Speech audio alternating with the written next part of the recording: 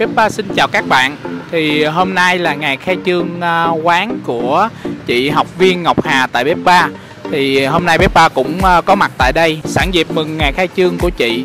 Và một lát nữa đây, thì chúng ta sẽ cùng xin một ít cảm nhận của chị trong buổi tối khai trương ngày hôm nay ha. Thì đây, quầy pha chế của chị đây. Đây là quán của chị Ngọc Hà nha mọi người. Là học viên của Peppa. Thì hiện tại chị đang trong quầy pha chế, một chút xíu nữa mình sẽ xin một số cảm nhận của chị.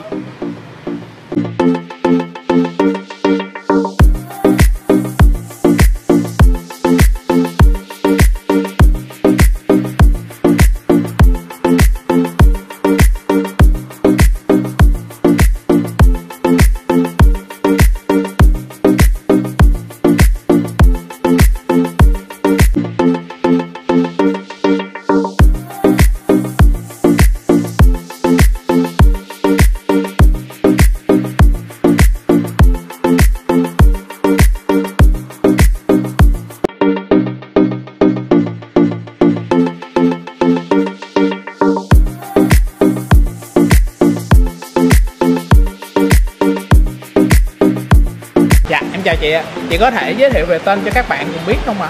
À, chị tên Đoàn Thị Ngọc Hà là học viên của bếp 3 học viên về bên ờ, pha chế Dạ rồi Thì ờ, như em thấy thì hôm nay là ngày quán mình khai trương buổi đầu tiên phải không chị?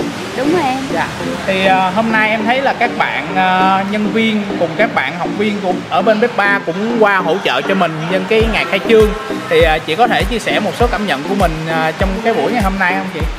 À, hôm nay thì ngày khai trương cũng khá là đông nên là cũng nhờ có mấy thầy cô rồi với bên các bạn cho- trong cái lớp pha chế qua hỗ trợ cũng rất là nhiệt tình để cho mình hoàn thành được một cái ngày khai trương thật là tốt Dạ để ờ, phục vụ cho khách hàng Dạ Vậy thì cũng ờ, có là dự định là mỗi hai mỗi tuần thì chị có thể là chị sẽ ra một món mới và Dạ. chị sẽ gắn kết lâu dài với Vip 3. Dạ rồi Chị em cũng xin chúc chị sẽ à, khai trương à, thành công, hồng phát Và mình có thể mình kinh doanh ngày càng lớn mạnh hơn ha chị Dạ rồi, em cảm ơn chị Cảm ơn em. dạ.